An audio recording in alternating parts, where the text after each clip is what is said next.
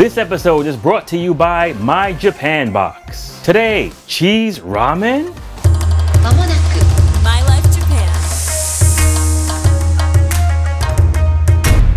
Welcome to My Life Japan, the show about the foreign experience in Japan. I'm your host, Alan Welch. First up, big shout out to John and all of his supporters from Only in Japan. What up? Now, a little while ago, I did a video about an ALT, assistant English teacher, working in Japan, and in that episode, the heat got turned up.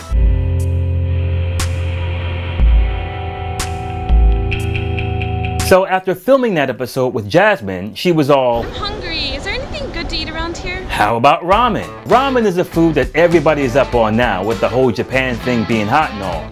But if you're like me, growing up in suburban New Jersey, you started off with cup ramen noodles, thinking you knew what real ramen was. You know you did.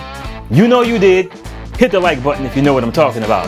Or you can just hit the like button anyway. I happen to know a pretty good ramen place, but not just any ramen place, it was a cheese ramen place. To which her response was, Cheese ramen? That can't be right. Actually, tsukemen. In Japanese, you have the verb tsukeru, shortened to tsuke, which means to apply, and men, as in ramen, which means noodles. So you're basically applying a pork or fish-based sauce to noodles by dipping them. Dipping noodles.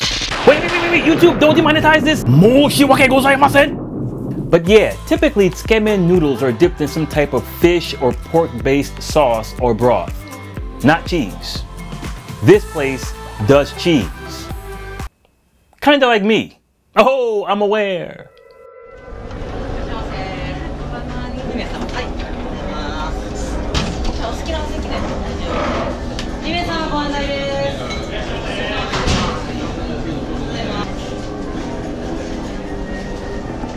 This is one of my favorite places to eat in Japan. I bring all of my friends here.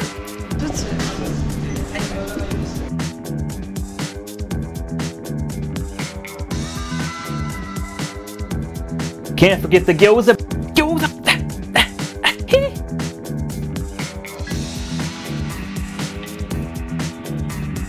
Cheese.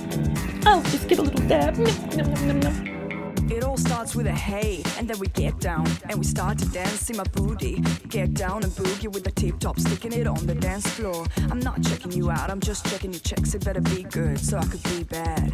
I know you fancy. But you gotta rock according to the restaurant's instructions. Put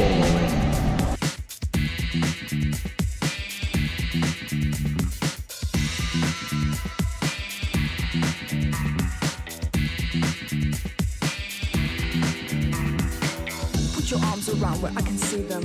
Put your hands around where I can feel them. I'll be giving you the satisfaction. And that has been one of her favorite places to eat ever since. Now, I actually filmed this last year, and the original plan was to go back to the restaurant on a different day and get some of that sweet close up food porn. When I went back yesterday to get those pickup shots, the place is now gone, like a steak joint or something.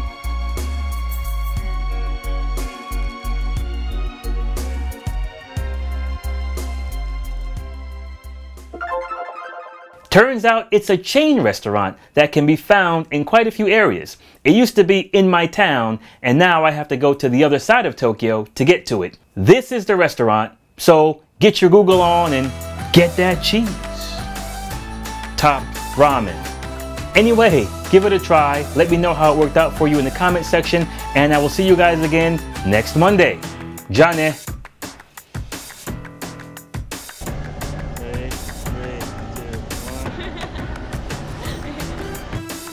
Oh yes, I am well versed in the cheese. で、わかりますか And you'll be all like, えー、知らないな. You can be like, えー、本当